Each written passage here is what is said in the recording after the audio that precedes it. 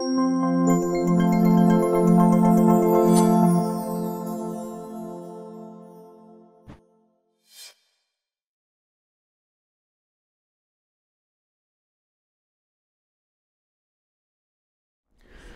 There, there are a number of ways that uh, employers, plan sponsors can perhaps think differently about the use of the copay accumulator cards. And I think first and foremost, one has to think about what's the goal that one is trying to achieve with the copay accumulator cards, and is it really uh, financially uh, impactful for the employer?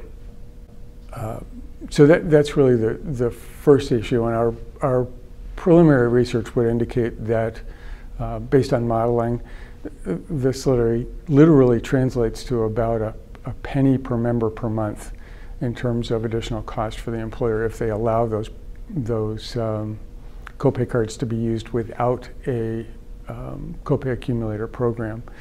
But in terms of modifying the, the um, copay accumulator adjustment programs, th there are a number of factors that could be considered. One is um, sort of foundationally, if an individual is on specialty drugs, um, they probably should be counseled or at least be made aware of the existence of the copay accumulator adjustment programs at the time of benefits enrollment so that they can choose perhaps to enroll in a PPO uh, plan or non-high deductible health plan that would protect them to some degree from that uh, unanticipated um, high payment when the copay support runs out.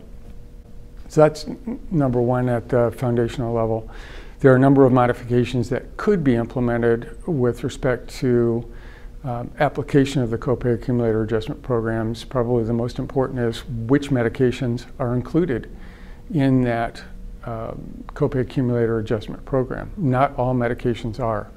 Uh, for example, in the, uh, the study that, that we performed looking at this issue, um, medications for multiple sclerosis were on the preventive drug list and excluded from the eligibility for the, the copay accumulator uh, adjustment program. So employers have an opportunity to include more medications on that um, preventive drug list and be selective about which medications are subject to the copay accumulator program uh, or not.